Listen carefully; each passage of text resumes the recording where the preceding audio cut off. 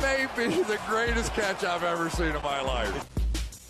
Alright guys, halfway through recording our last video where we talked about the Dynasty Gold that are rookie running backs as well as those sophomore year running backs, I figured it would be a very smart idea to go out here and make a video really trying to illustrate how important it is to have those rookie running backs, having those guys are still on their rookie contracts. And in this video, I'm going to be talking about running backs that had a significant amount of value 12 months from now, but now it looks like they are just going to be dead in fantasy football going into 2021. And now here, I'll say these are not guys that we should be cutting in Dynasty Fantasy Football, especially if we have deeper rosters, as maybe they'll find a spot on an NFL roster as a backup mentor type running back, or maybe fall into the role of a Frank Gore, where we know that yes, they're not going to be top fantasy contributors, Yes, they're not going to be top 12 running backs ever again, but maybe they could be a handcuff type. Maybe they could provide you some few spot starts. So please don't go out there and cut these players, but I think this is going to be a great exercise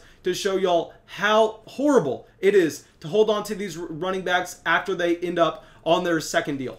Okay, so first off, let's start it with the running back that I've always hated in Dynasty Fantasy Football, and this is going to be Raheem Mostert. Okay, so with Raheem, obviously he's had a ton of struggles so far in 2020. This was the reason that we were avoiding him coming into the year, as he has been a committee running back throughout his entire NFL career. And really, we did not want to fall into the small sample size trap of looking at him being a feature down running back in San Francisco at the end of 2019 and just kind of assume that was going to be exactly what we saw in 2020. On top of that, a lot of people don't really understand how old Raheem is, where he's going to turn 29 by the time 2021 starts off. And here with Raheem, he's also playing under the last year of his deal that he got for the San Francisco 49ers. Now, yes, I technically know that he is under contract in 2021, but if you just look at the way that contract is constructed, I mean, they could easily get out of it if they would want to. So I think that we just have to treat it as if Raheem Mostert could be a free agent this offseason,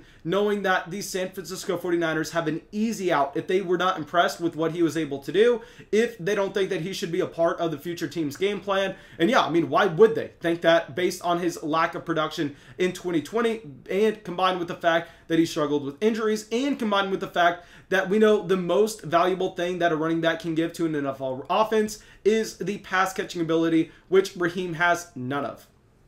Okay, so now let's get to our next running back, someone that is a little bit more intriguing here, and this is going to be a Mark Ingram. And now the reason that he's a little bit more intriguing is because I have no idea what to expect. I mean, he is about to turn 31. He'll be 31 by the time this season ends. And yes, I don't expect him to be on the Baltimore Ravens, but are we going to see him transition his game into maybe a Frank Gore? Are we going to see him stick around on an NFL roster for a very long time?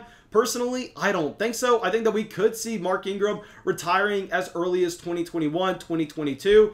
And yeah, I mean, here, 31 years old. I mean, he had a hell of a career. Mark Ingram, though, I'm sorry, J.K. Dobbins was drafted to replace you in the second round. I really don't see a future with Mark Ingram in the NFL. Maybe a player that, I mean, you just should not have been rostering coming into the season regardless. Obviously, anybody with a brain knew that Mark Ingram was going to be dead after 2020, but really, I just want to pay him some tribute, give him some time on the airways.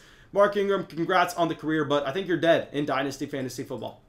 Okay, so now let's get to our next running back, someone that is significantly younger than these other guys, and someone that was the most impressive running back at his peak compared to pretty much any other running back that you're going to look currently at in the NFL. This will be Todd Gurley. Okay, so Todd Gurley is currently only 26. Todd Gurley will be 27 by the time the 2021 season starts. And I know y'all are probably wondering, Mason, why, why are you saying this with Todd Gurley? I mean, based on his age, he should have another two or three years in the NFL. But guys, like I've said with Todd Gurley, why we are avoiding him in every single type of fantasy format coming into 2020 was the Los Angeles Rams knew what was going on with Todd Gurley. The Los Angeles Rams doctors, the people who actually had the opportunity to sit in the room and look and evaluate Todd Gurley, thought that he was toast. Looked at that knee, which we know was diagnosed to have arthritis in it about, uh, I want to say, 18 months ago, and just kind of determined that Todd Gurley was not going to be a running back that was going to have the same type of explosion, going to be able to handle the same type of workload that he did earlier on in his NFL career. Then he finds himself in a very nice position for Atlanta. I mean, this was the dream spot for Todd Gurley. We know that he's from Georgia. We, we know that Todd Gurley wanted to go to the Atlanta Falcons, and they have historically had a decent offense, and there should have been a lot of running production to be had there. But Todd Gurley was one of the least efficient running backs in the entire NFL this past season. He also lost a significant amount of work to Brian Hill.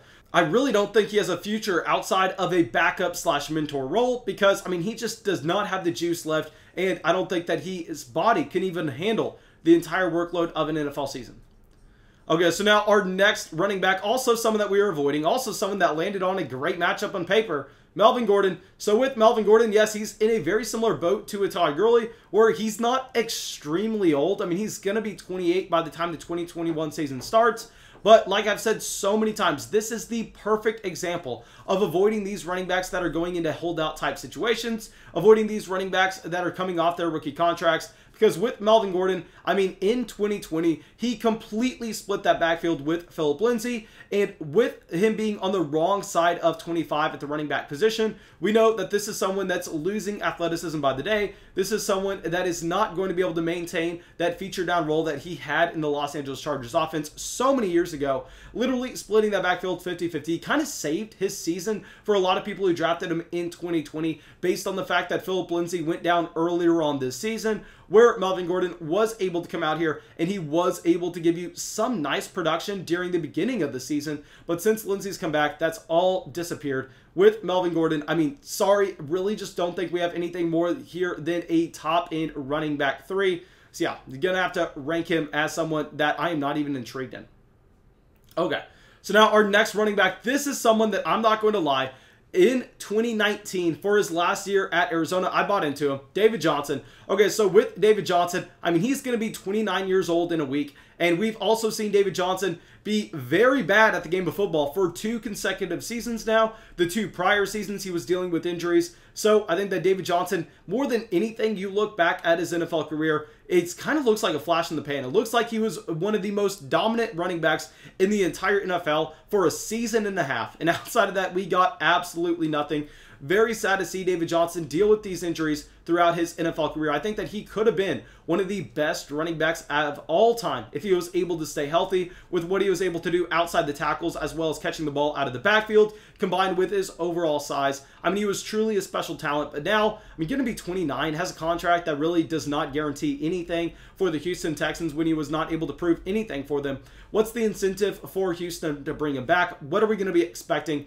So yeah, David Johnson, I have to officially mark him as a dead running back, not expecting anything. And now for the last part of this video, let me get into some running backs that I think could be falling into this same range a year or two from now. And let's start it off with someone that I know so many people are going to hate me bringing up, but Ezekiel Elliott. Okay, guys, Zeke looks like he's on a very similar trajectory of these other running backs like a David Johnson, like Melvin Gordon, like Todd Gurley, like Mark Ingram, where, yes, he was very dominant at his peak. He was a running back that was able to handle a larger workload than pretty much everyone else. He was able to go out there and be efficient with that workload, get usage at the goal line, get usage in the receiving game.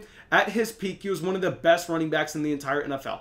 But if you look at what Tony Pollard did in this offense in 2020 compared to Ezekiel Elliott, it looks like Elliott may have just lost all juice. I mean, you watch Elliott play, and yes, he is dealing with the worst offensive line of his entire NFL career. Yes, he's dealing with the worst quarterback play of his entire NFL career. But at the same time, I mean, Zeke is just not the same running back, and Zeke is someone off of that rookie contract. It's a little bit of a different situation in that his agent got him a fantastic deal where he is guaranteed for the next two seasons. But I think he could be falling into this pattern of these guys who go out there, play fantastic on their rookie contracts, get a massive extension or just a massive new deal afterwards, and then really don't live up to that hype as they've already been run into the ground by their NFL franchises. I mean, sucks to say, but Ezekiel Elliott could be falling into that boat. And one more running back that I forgot to mention at the very beginning that I just want to pay tribute to, who is completely dead in fantasy football. I would not be surprised if he was literally not on another roster going into this upcoming season.